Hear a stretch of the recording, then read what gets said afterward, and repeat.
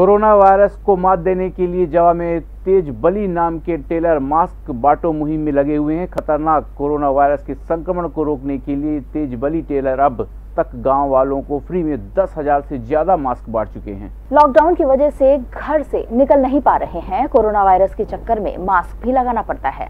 बाज़ार में मास्क की कमी हो गई है। ऐसे में तेजबली टेलर ने लोगों की मदद का बीड़ा उठाया। तेजबली ने बताया कि जब लॉकडाउन शुरू हुआ तो हमने सोचा घर में बैठने से अच्छा है।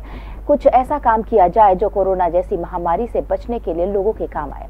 फिर मास्क बनाने का फैसला लिया और निशुल्क लोगों को बांटने की शुरुआत की। यह मास्क बेहद खास तरीके और कुछ लोगों को ध्यान में रखकर बनाए गए हैं। यह मास्क ऐसा है कि इसे एक दो बार में बदलने की ज़रूरत नहीं है।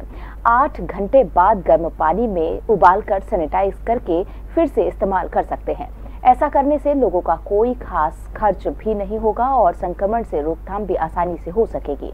इस मास्क को बनाने की कीमत सिर्फ़ पंद्रह रूपए पड़ती है। हम इसे खुद बनाकर लोगों को फ्री में बांट रहे हैं। सर क्या है ना कि खाली बैठे थे तो हमारे मन में ये आया कि कोरोना महामारी जैसे बीमारी को कम से कम थोड़ा अगर मदद किया जाए तो ज़्यादा सही रहेगा। कोई कस्टमर तो आ नहीं रहे तो हमने सोचा कि कम से कम हम अगर मास्क बना के लोगों तक पहुंचाएँगे तो जन सहयोग भी हो जाएगा तो ज़्यादा ठीक रहेगा।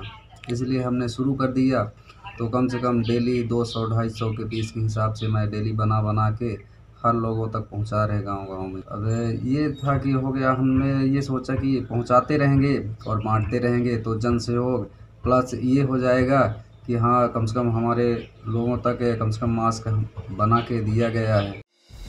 संगीत की स्वर लहरियों से। सांस्कृतिक ताने बाने तक। चंबल के पीड़ों से नक्सलवादियों के गढ़ तक झोपड़ी से महलों तक ठेलों से मेलों तक पगडंडियों से सड़कों तक गाँव से शहरों तक व्यापार से उद्योगों तक। राजनीति से कूटनीति तक। दखन न्यूज़। आपके हक।